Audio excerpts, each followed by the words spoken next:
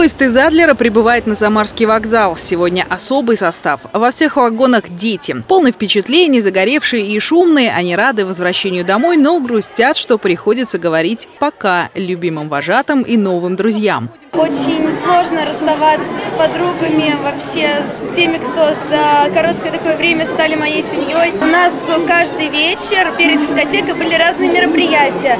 Э, Минута славы, например, или танцевальные батлы. Ощущения вообще волнующие, потрясающие. Мне все очень понравилось.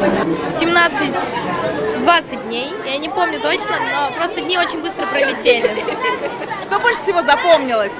Дискотеки, экскурсии, квесты всякие. И самое главное, что очень много друзей. 12-летняя Фрида Куклина побывала на море впервые и даже отметила там свой день рождения. Вместе с ней в оздоровительном комплексе «Дружба» в Лазаревском районе города Сочи за счет средств областного бюджета отдохнули и поправили здоровье 500 школьников из всех уголков Самарской губернии. Это дети, находящиеся в трудной жизненной ситуации переживали за здоровье, за то, что как они, у них все сложится, потому что первый раз самостоятельно поехали так далеко от родителей.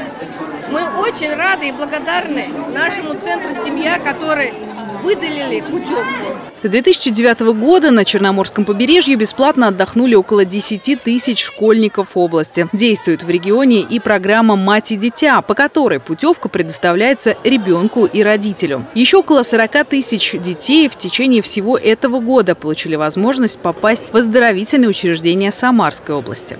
В текущем году работает 50 организаций отдыха и оздоровления детей, 33 из них работают по государственным контрактам, то есть за счет бюджета отправляются детки отдыхать. Бесплатные путевки, также предоставляемые через комплексные центры социального обслуживания населения, также можно получить э, в некоторые лагеря Самарской области.